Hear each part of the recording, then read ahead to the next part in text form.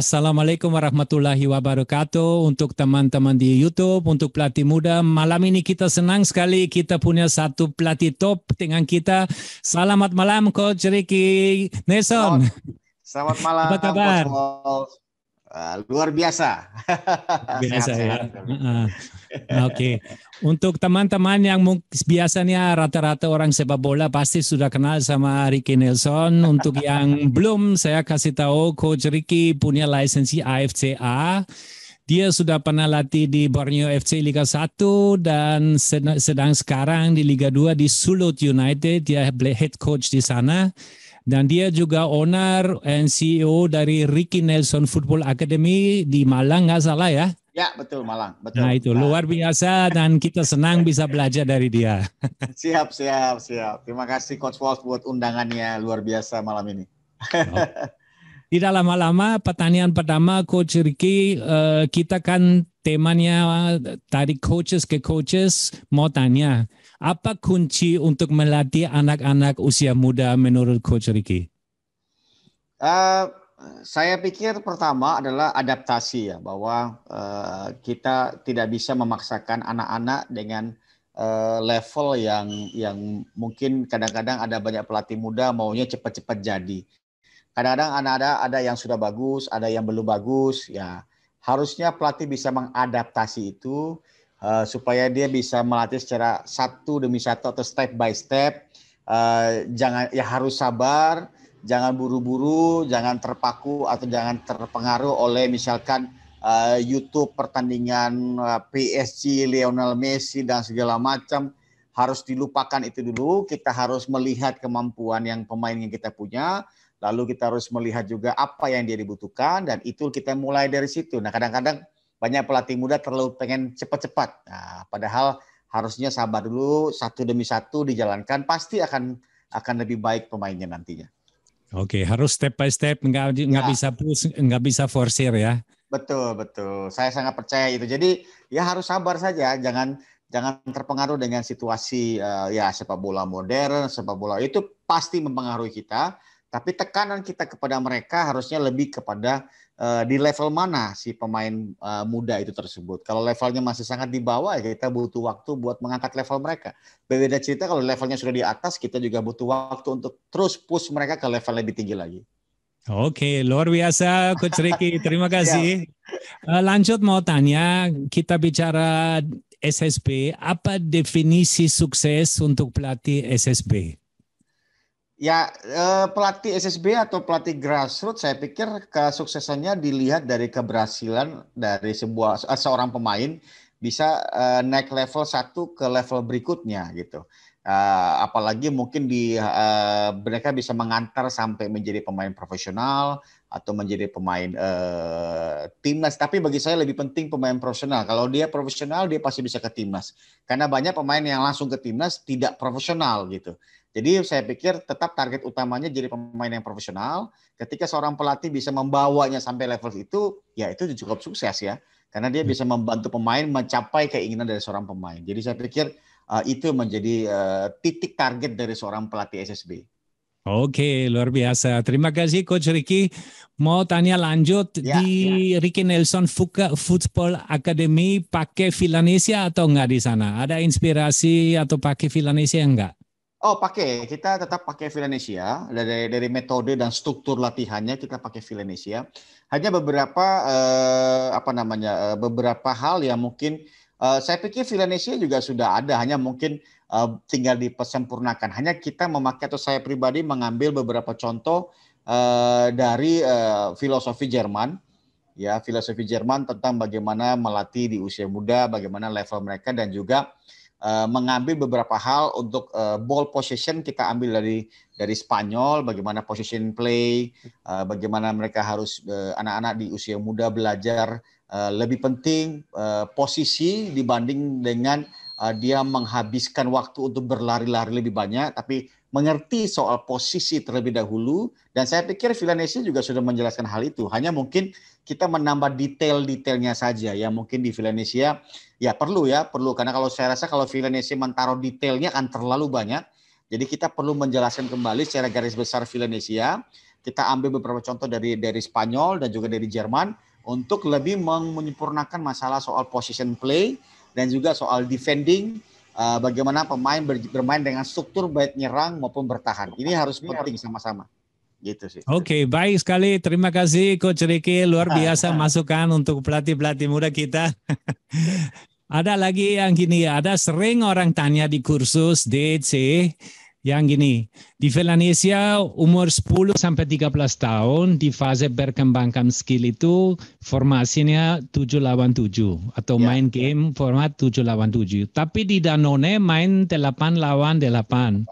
Nah, menurut Coach Ricky, satu pemain lebihan ini, apain dengan pemain satu? Taruh di mana satu pemain lebihan ini di Danone Cup?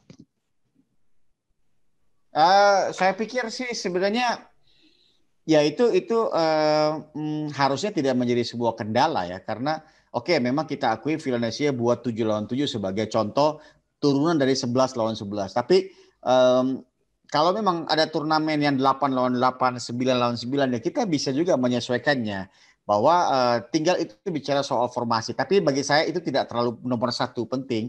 Tapi yang paling penting adalah mau 7 lawan 7 atau 8 lawan 8, pemainnya ngerti posisi atau tidak. Pemain ngerti soal bagaimana dia bermain dengan formasi yang dibuat oleh pelatihnya atau tidak. Pemain ngerti bagaimana dia defend ketika hilang bola mereka harus bikin apa. Itu ya jauh lebih penting masalah soal jumlah pemain. Karena eh, di usia itu harusnya mereka lebih penting mengerti soal fungsi dan tanggung jawab dia sebagai seorang pemain di posisinya masing-masing itu jauh lebih penting daripada hanya masalah formasi. Saya gitu setuju, saya pikir sama. sama ya, harus tahu fungsi, harus tahu tugasnya, ya, itu yang lebih penting ya. Oke coaches, mudah-mudahan ingat ikut sama tips dari coach Ricky itu luar biasa. Coach Ricky, saya mau tanya, jika ada satu ya. pelatih, ya. dia punya mimpi, punya akademi satu hari, punya akademi sendiri, apa dia harus pikir atau pertimbang? Jadi uh, membuat sebuah akademi yang pasti uh, uh, kita harus berpikir soal target uh, ke mana kita membawa anak tersebut ya. Apakah kita punya link ke atas? Apakah kita punya kemampuan untuk membawa pemain menjadi profesional? Kedua pasti biaya cukup besar ya. Ketiga seberapa kemampuan kita dalam hal kita punya apa namanya pengetahuan. Pengetahuan tentang bagaimana membentuk seorang pemain menjadi pemain profesional. Memang tidak mudah. Banyak sekali oh, banyak yang bermimpi buat akademi ya tidak salah, boleh-boleh saja. Tetapi harus sangat diperhatikan bagaimana eh, kemampuan kita membawa pemain ke level profesional. Ada nggak link kita ke sana? Ada nggak hmm. kita punya jalan ke sana gitu? Lalu yang penting juga ketika sudah sampai sana kita sudah memberikan eh, apa namanya membentuk mereka atau belum baik secara karakter mereka, secara teknis mereka dan juga bagaimana mereka bersikap profesional nanti ketika mereka sudah di level profesional. Dan itu semua ditanamkan di akademi. Oke, luar biasa Coach Ricky. Terima kasih banyak. Memang coaches untuk bikin akademi tidak gampang, harus banyak korban, harus punya modal besar untuk bikin ya, akademi ya. dan harus ada link dan harus ada skill sebagai coach untuk bawa anak-anak ke level tinggi seperti Ricky Nelson sendiri. siap, siap. Oke, okay. uh, eh, Coach Ricky mau tanya, formasi apa sebetulnya suka dan kenapa suka formasi itu? Uh, kalau saya sebenarnya secara pribadi suka formasi karena sebenarnya pada prinsipnya saya lebih uh, menyesuaikan pemain yang ada, Coach Wolf. Jadi kalau pemain saya seperti ini, saya bisa berubah-ubah formasinya. Tapi kalau ditanya saya favoritnya formasi apa ya? Saya sebenarnya suka main 3-4-3, 3-5-2. Saya suka main 3 back. Alasannya kenapa?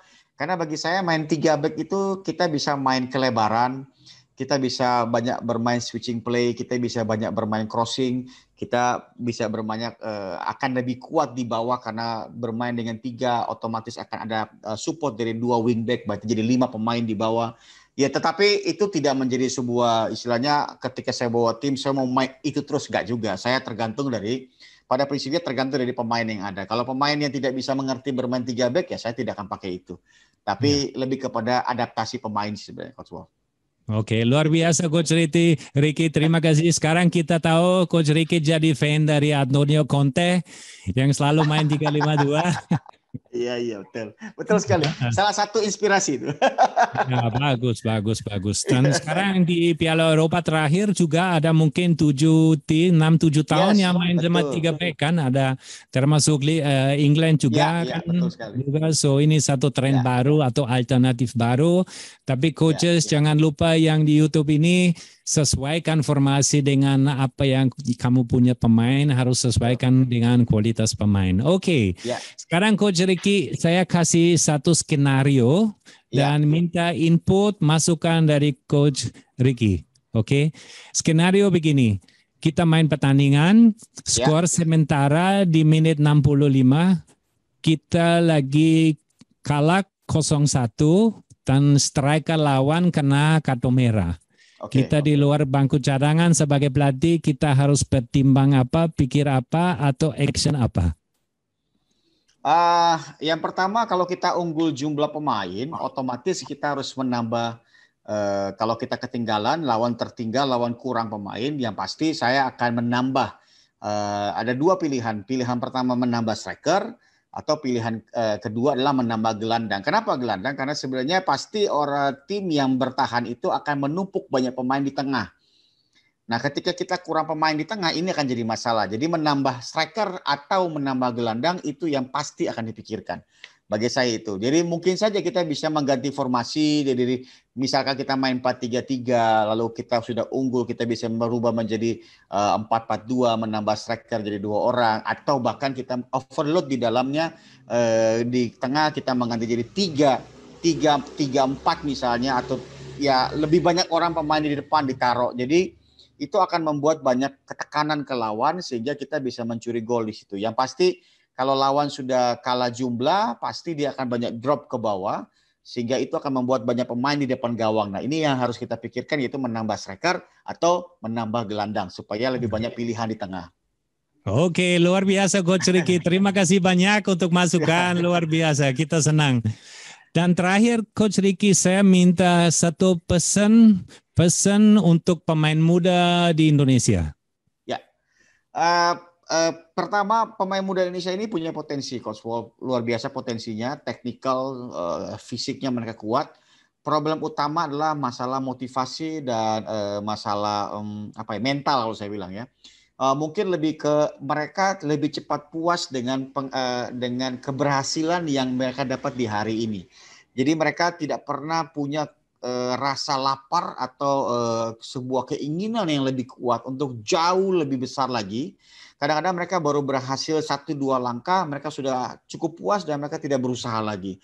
Padahal harusnya mereka melangkah misalnya ya lebih panjang lagi langkahnya. Artinya ketika mereka berhasil hari ini, jangan ya disyukuri tetap disyukuri, tapi bukan berarti puas. Disyukuri saja, tetapi harus harusnya makin e, berambisi lagi, makin misalnya Oke, jadi pemain Indonesia harusnya jangan jangan cepat puas ketika misalkan dia sudah berhasil bermain di Liga 1 Indonesia. Lalu mainnya bagus, terpanggil lah timnas uh, Indonesia, main bagus lagi, akhirnya klub Malaysia ambil misalnya. Oke, pergi ke Malaysia. Habis Malaysia dia harus bermimpi lagi bagaimana saya bermain di Korea atau Jepang. Dari situ dia bermimpi lagi bermain di Eropa. Karena bagi saya memang cukup sulit bagi pemain kita dari Indonesia langsung ke Eropa itu ya Coach Wolf tahu lah. Coach Wolf cukup paham dengan Eropa gitu ya. Sangat sulit. Mungkin kita perlu juga bermain di negara Asia yang cukup besar sehingga kita punya kemampuan, kita punya level permainan yang berkembang sehingga kita siap dengan level permainan di Eropa. Nah, jadi permasalahan terbesar pemain kita adalah mereka tidak cukup jauh mimpinya. Harusnya lebih jauh mimpinya, main sampai Eropa. Gimana caranya? Dia harus berusaha terus. Gimana caranya? Nanti harus ada pasti ada jalan. Nah, yang terjadi saat ini pemain kita ketika sudah puas dengan main timnas, terkenal, mereka sudah turun, disiplinnya mulai turun, lalu kerja kerasnya mulai turun. Sehingga mereka cukup puas dengan hasil misalkan, oke okay, saya dapat 2 miliar, 3 miliar cukup puas. Padahal kalau dia bisa bermain di Eropa, dia bisa bawa 10 miliar, bisa bawa 20 miliar, lebih banyak lagi. Tinggal kerja kerasnya yang memang harus dituntut. Nah, jadi uh, kita harus banyak memberikan mimpi, mereka mimpinya harus lebih jauh, lebih panjang lagi harusnya. Kalau menurut saya itu. Terima kasih Coach Ricky, luar biasa. Anak-anak muda harus mimpi sebesar-besarnya dan cepat, jangan cepat puasnya itu salah satu kunci ya. Ya, setuju, setuju. Oke, okay. terima kasih Coach Ricky. Kita senang sekali bisa sharing dengan kita. Uh, saya mau bilang selamat sukses. Saya mau wakili semua teman-teman di YouTube. Sukses untuk Ricky Nelson, sukses, sukses untuk Ricky Nelson Academy, sukses untuk Sulut utaranya dan stay sehat Coach Ricky. Dengan ini saya bilang sekali lagi terima kasih dan Assalamualaikum warahmatullahi wabarakatuh.